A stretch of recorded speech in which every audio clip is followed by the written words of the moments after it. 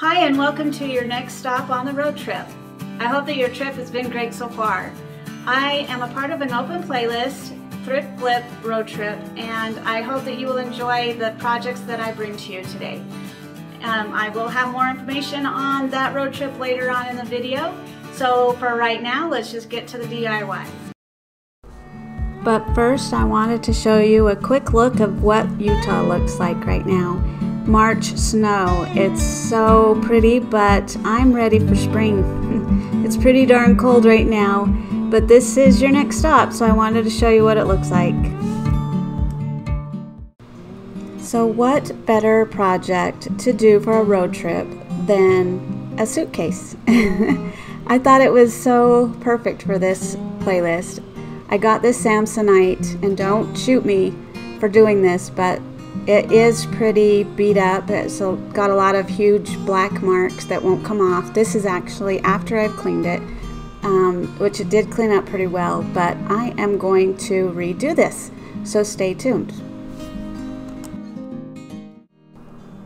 This truly is a really neat piece, but like I said, it was pretty beat up. All those black scratches and the, the sewing on the sides was coming out. So I figured it's not really going to be damaging a really good antique. Because I looked these up and this one is from the 50s and man it is heavy. I can't imagine having to carry this around with, with my stuff in it because I have a lot of stuff. but um, I'm just taking tape and masking off all of the areas I don't want painted. I'm planning on leaving all of the trim on the sides, the leather there along the sides, and the gold pieces, locks, um, and the handle, all in original color. I thought that would make it pop out even more, be really pretty. So as you can see, I'm just making sure that all of those areas are masked off really well. And the fun thing about working with chalk paint is that if you get it on somewhere, you can always use a, a, wet cloth and wipe it right off. So it's so versatile to be able to work with. So here I'm just uh, painting the top and just giving it, you know, even strokes along the way that I want it so it flows really well because you'll be able to see the strokes and so I want to be universal with it not like back and forth in different directions.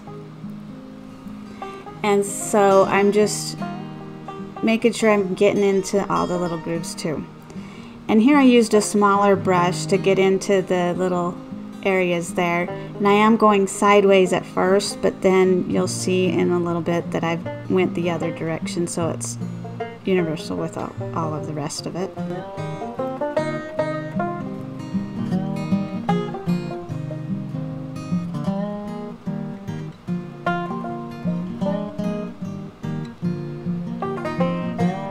And I really loved how this piece turned out. I can't wait for you to see it.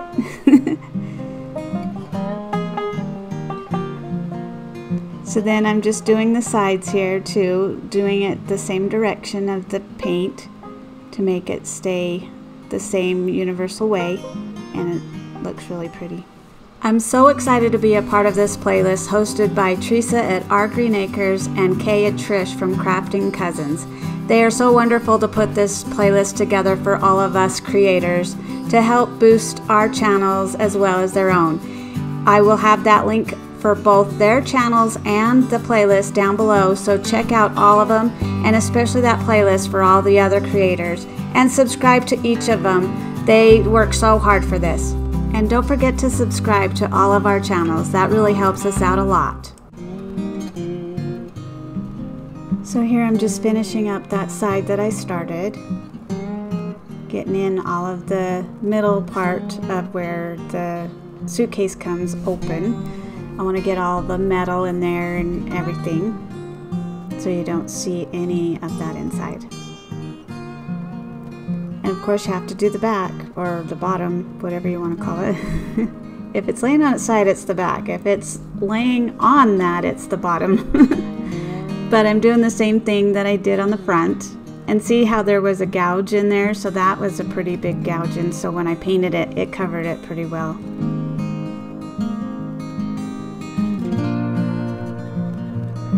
And I figured it being the bottom and the back that I wouldn't bother um, trying to mask off those metal pieces for the stand.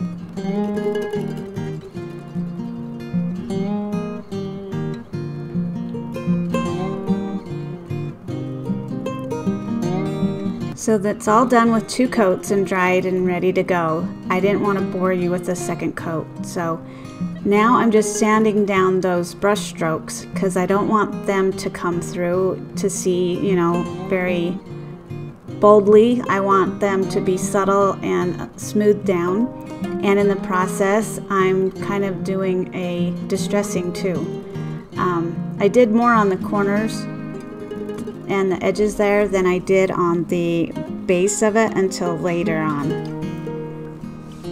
And I am debating on possibly doing a antiquing wax on it, but for now it it was finished just the white. So so now I'm measuring it to um, do stripes. So I'm masking off where I want the middle stripe to be, trying to make sure it's even and doing the other side here. And as you can see, when you sand down chalk paint, it's pretty messy. so now I'm using that pretty um, sheepskin color chalk paint from Folk Art. And it's so pretty. It's, it's almost yellowish, but yet cream. It's just really pretty and it gives it that subtle transition from the white to this color. I like it. I just thought it turned out so, so pretty.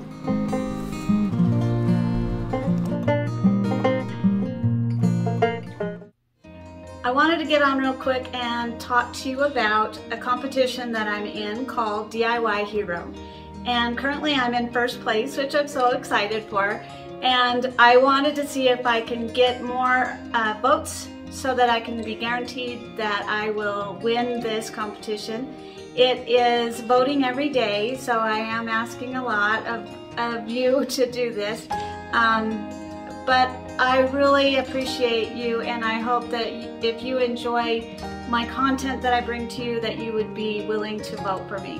I am just so excited that I want to do a lot with the winnings and start a foundation and I just I just want to be able to, to have this for my family as well. And so if you could go on to the link that's down below and vote for me, I would really appreciate it and I thank you so much in advance.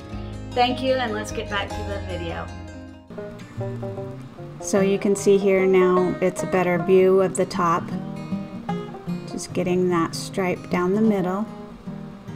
And this you can do any color you want, which is nice. You could be more bold and do like a black and white or uh, gray and and maroon or you know you could do whatever color you want to fit your style and to fit your home decor to match anything that you have currently. And I thought this would be more of like a neutral color that I could just put anywhere and it would match really well. So I thought it would be cute to have thin stripes on each side of the thicker stripe. It makes it kind of more, I don't know, have more dimension. There's my hubby. so my footage that I had of painting these thin stripes was really super blurry. I don't know what happened. But you can see that I painted those the same color. And I did find this idea from a picture on Pinterest that was similar, but I wanted to do a little bit different. And being such a big piece, it needed more than just the middle stripes. So here I'm just masking it off, not so much for it for a paint, but a guide. And I'm doing this stencil I have from Chalk Couture and um, don't tell anyone, shh, but I'm using this same regular chalk paint with the Chalk Couture stencil instead of the paste. um, I didn't have any color that would match this for the paste, so I'm using this, and it turned out really cute. So this gave it that extra little decorative piece without it being a stripe and kind of made it look a little farmhouse, shabby chic kind of thing. And I just thought it was really pretty. And it's hard to tell with the video, but I hope you can see it. So then I just lined it up to the back so that I could make the line continue all the way to the end. And just did the same thing with the stencil brush and just pounced on it and smoothed it out so that it would go through. I really like how it turned out.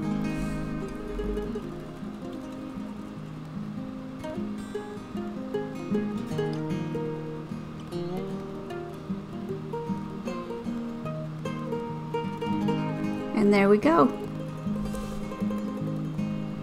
So of course you have to bounce it out and do the other side. Look how pretty it's looking. I love it.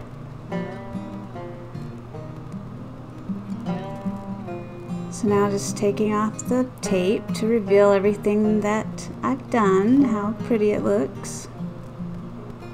And on the transfer got it pulled up that tape or paint, so I'm just covering that up.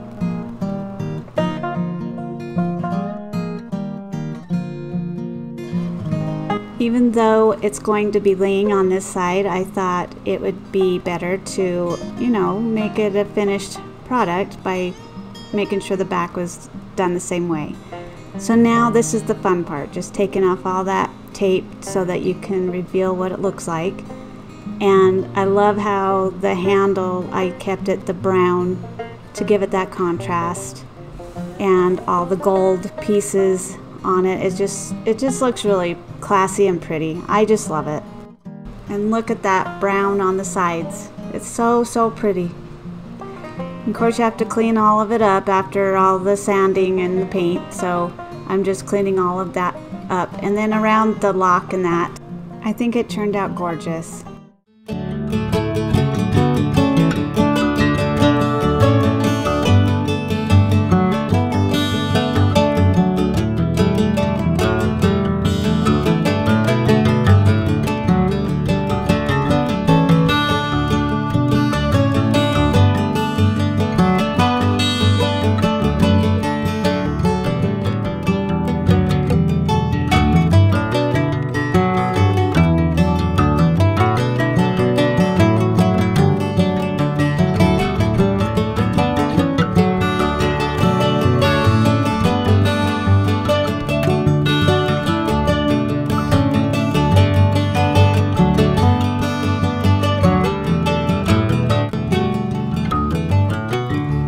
Let me know in the comments what you think of my suitcase. I think it turned out beautiful and it matches my other suitcase really well.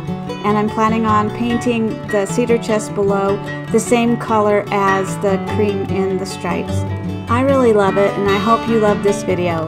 Make sure to check out that playlist and don't forget to subscribe to everyone's channels. Thank you and have a great day.